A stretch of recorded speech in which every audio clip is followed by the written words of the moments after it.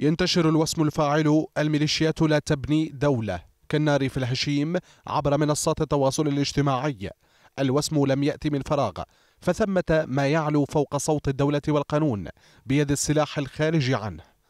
العراق يتنهد كثيرا بكافة تفاصيله المجتمعية والمؤسسية كلما ارتفع التوتر أو قياسه على الأرض. نقطة الفصل الواضحة تماما تظهر في محرك البحث عن أسباب عدم الاستقرار. يبدو هذا واضحا في القصف. يدعي مطلقو هذه الصواريخ أنها صوب العدو فهل يعقل أن يكون رأس العراقي هو الهدف المنشود؟ لا شيء يستحقه العراقي هنا غير الخراب والحرق والدمار والموت وهذا حدث مستمر في أذهان الضاربين بسلطة الدولة وهيبتها وقانونها عرض الحائط.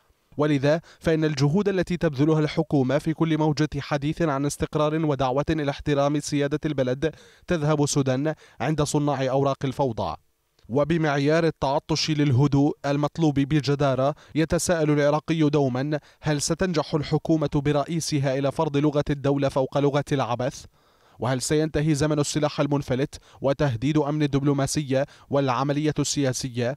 تساؤلات متواجدة في البال يوميا. أما نتائج للإجابات المرجوة فهي تحقيق لاستقرار بغداد الواجهة الرسمية التي تبحث عن حلول للنهوض بالواقع السياسي والاقتصادي والاجتماعي وتعظيم الإنجازات العراقية التي بات العراقيون ينظرون إليها على أنها ذكرى من الزمن الجميل.